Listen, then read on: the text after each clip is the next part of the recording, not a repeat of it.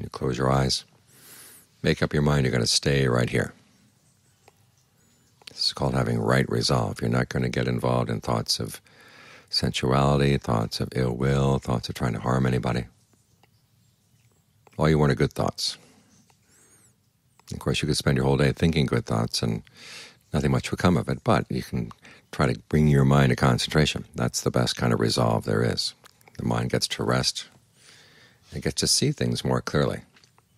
Because when the mind is still, you can see even slight movements, just like standing still. You can see a lot of things that you can't see when you're running around. You might think that you see more things by running around, but all you see is lots of blurs. But when you stand still, even though you may be looking only at one thing, you can see all the details and get to know it really well. This is especially important in our mind. Go running around through life, you get to know your own mind in a blur, and everybody else's mind in a blur. But if you sit really still, you get to know your one mind very clearly. Clearly, when you know your mind, you can extrapolate that from that to realize, well, this is what other people are going through too, because we're all creating suffering for ourselves. And the thing we want to understand is how we're doing it, why we why we're doing it, and how we can stop. That's the sort of thing you can see only when you look very carefully at your own mind.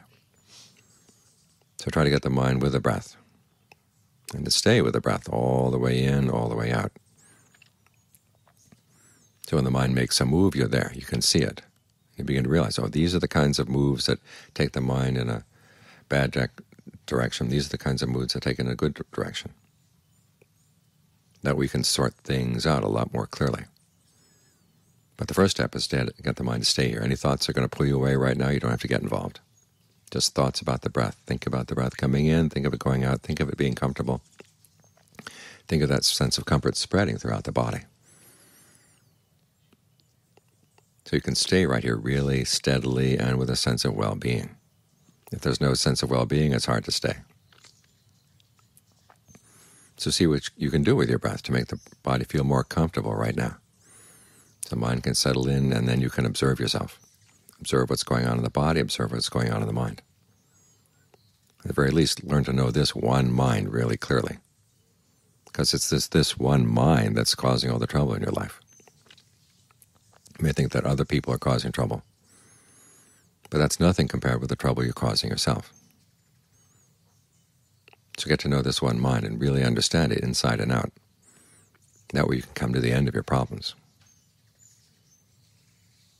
Because if the mind isn't creating problems for itself, then no matter what else anybody else does, it's not going to weigh down the mind. You yourself are weighing your own mind down. So this is the mind you want to understand.